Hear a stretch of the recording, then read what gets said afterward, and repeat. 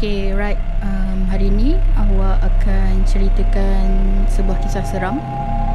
Kisah benar daripada awak untuk diceritakan kepada penonton seorang diri hanya ditemani oleh cahaya lampu dan juga kamera sahaja. Jadi saya tinggalkan awak dekat sini dan awak boleh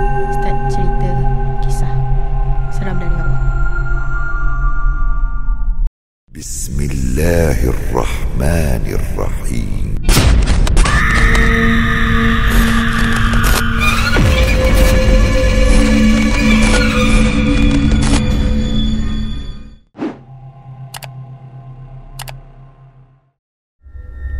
Nama saya Muhammad Namir Syarifuddin. Saya dari kampung Sijangkang. Saya ada nak ceritakan satu pengalaman. Benda ni bermula masa kita orang masuk semester 3. Time semester 3 tu ah, kita orang kena cari rumah sewa. Dekat area tempat saya belajar tu ah, susah nak cari rumah sewa sebab persaingan dengan budak poli.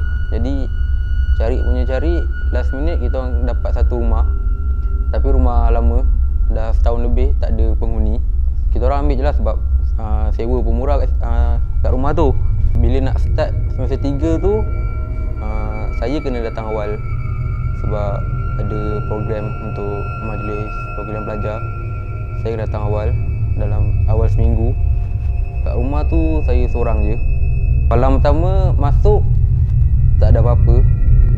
Tapi bila malam kedua tu bila saya nak tidur uh, saya dengar satu bunyi kat bilik air. Dan bila saya check barang-barang mandi saya macam sabun semua dah jatuh atas lantai.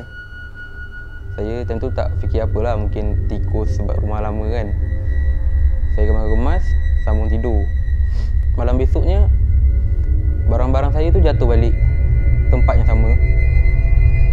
Jadi saya tak agak sangka gambar benda tu. Saya tak nak fikir bukan-bukan lah takut esok jatuh lagi ke saya simpan tempat lain.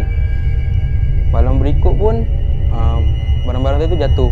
Masih jatuh dekat uh, walaupun saya letak tempat lain jatuh kat tempat yang sama.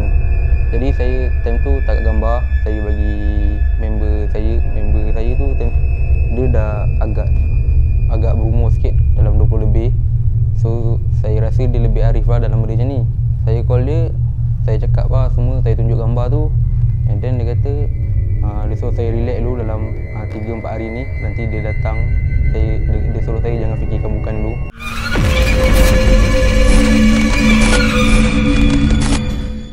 Benda tu uh, berlaku, berlaku dalam 3-4 malam juga lah Hari ke-6 saya kat situ member saya member saya semua member rumah semua dah sampai. So uh, kita orang saya cerita dengan orang semua. So kita orang uh, hati-hati lah situ rumah tu. Tapi malam tu sebab semua baru sampai baru jumpa da- dari cuti SEM. Kita orang lepak sampai pukul 3 4 pagi. Tiba kita orang dengar ada uh, bunyi uh, budak-budak berlari kat kat ceiling. Tapi rumah tu kita orang rumah satu tingkat je. So macam tu kita orang dah kita orang dah macam cuak. Kita orang uh, semua decide nak tidur, tidur awal uh, sebab takut. Lagi pun takut ganggu jiran-jiran. Dalam seminggu kita orang kat situ, kita orang nak kemas rumah sebab dah nak start SEM. Takut nanti tak sempat. Uh, kita orang kemas-kemas tentu malam. Dekat sana selalu blackout kadang-kadang sebulan 2 3 kali blackout malam tu nak jadikan cerita uh, hujan lebat dan blackout blackout tak lama dalam 2 3 minit tapi bila al-Quran yang kita orang kemas tu tiba-tiba dah tukar posisi. Semua takut dan tu. Benda malam pula hujan lebat. Uh, kebetulan hari tu Khamis malam Jumaat.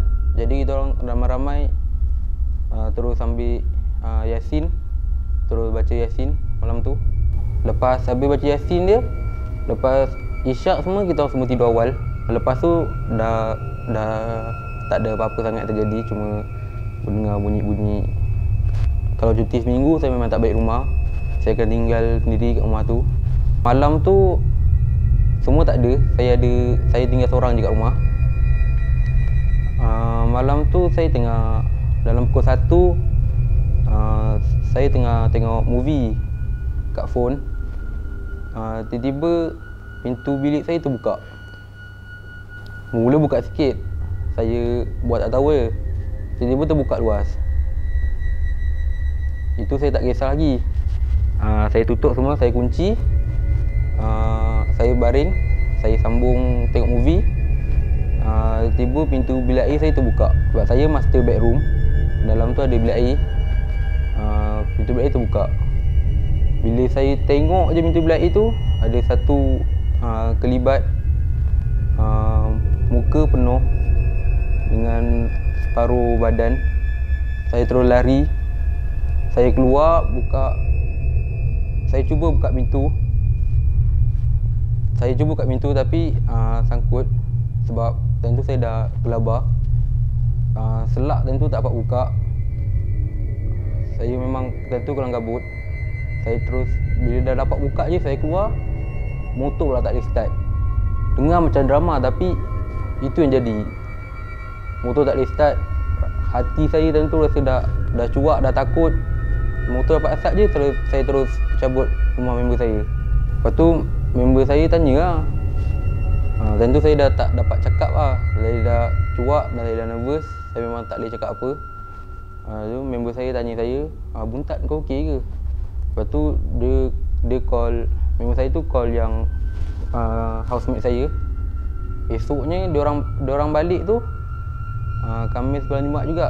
Kita orang uh, buat bacaan Yasin and then kita orang uh, pagar rumah tu kita orang ada seorang yang akan azan.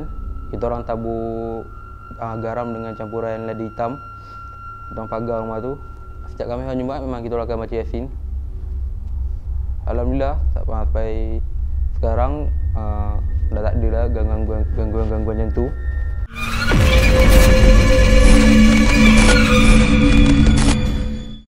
kesimpulan saya benda macam ni bila kita dah masuk satu bangunan yang dah dah lama tinggal yang dah tak ada orang patut berhati-hatilah sebab selain kita ada juga benda lain yang tinggal kat muka bumi ni